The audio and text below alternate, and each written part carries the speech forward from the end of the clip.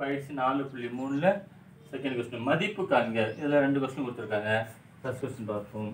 தீர்வு. First question என்ன கொடுத்துருங்க tan inverse of tan five by by ஃபோர்னு கொடுத்துருக்காங்க. அப்போ நம்மளுக்கு என்ன கண்டிஷன் பண்பில் சொல்லியிருப்போம். Tan inverse of tan x equal to எக்ஸ்ன்னா அந்த எக்ஸ் பிலாங்ஸ் டு என்ன வரும் நம்மளுக்கு?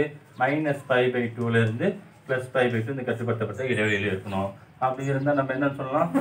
அந்த எக்ஸ் ஆனது tan inverse of x equal to x tan inverse of tan x equal to எக்ஸ்னு சொல்லலாம். இப்போ இந்த ஃபைவ் பை பை ஃபோர் இந்த இடைவெளியில் இருக்குதா பாருங்க. அஞ்சு பை பை ஃபோர் அப்போ அஞ்சு இன்ட்டு நூற்றி எண்பது டிவைட் பை நாலு. அப்போ இதுக்கு அடுத்த நம்மளுக்கு நாற்பத்தஞ்சு டிகிரி அப்போ அஞ்சு அஞ்சு இருபத்தஞ்சு அஞ்சு மீது ரெண்டு. ஐநூறு இருபது இரநூத்தி இருபத்தஞ்சு டிகிரி அப்போ இந்த இடைவெளியில் தான் இல்லை.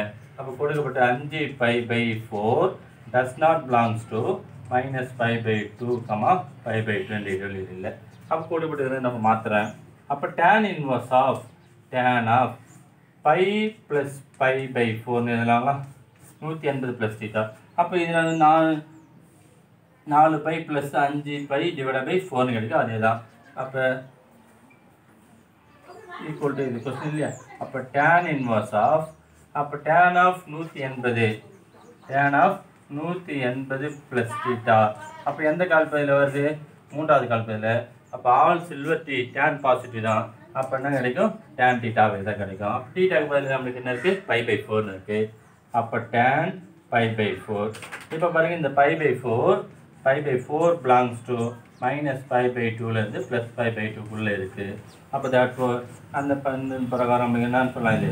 ஃபைவ் பை ஃபோர் அப்போ கொடுக்கப்பட்டது ஃபஸ்ட் கொஸ்டின் நம்ம tan inverse of tan of five pi by foreign மதிப்பு நம்மளுக்கு என்ன?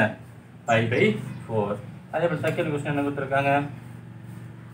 tan inverse of tan of minus pi by 4 pi by 6 அப்போ இந்த minus pi by six belongs to minus pi by டூலேருந்து plus pi by டூக்குள்ளே இருக்குது அப்- அப்போ minus five pi six belongs to minus five pi டூலேருந்து plus five by டூக்குள்ளே தான் இருக்குது அப்போ தான் இப்போ tan inverse of tan of minus five pi six equal to minus five pi six ஆகும். இதான் இதனுடைய தீர்வு.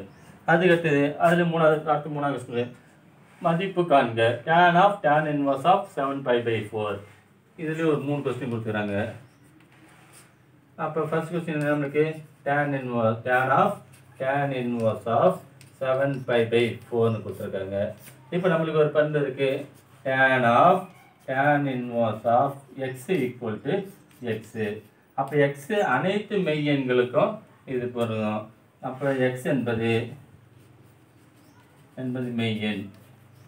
எப்படி இருக்கணும்? மெய் எண்ணாக இருக்கணும். அப்போ கொடுக்கப்பட்ட நம்மளுக்கு இது ஒரு மெய் தான் அப்போ seven five pi four tan of tan inverse of x அப்போ செகண்ட் கொஸ்டினுக்கு என்ன கொடுத்துருக்காங்க?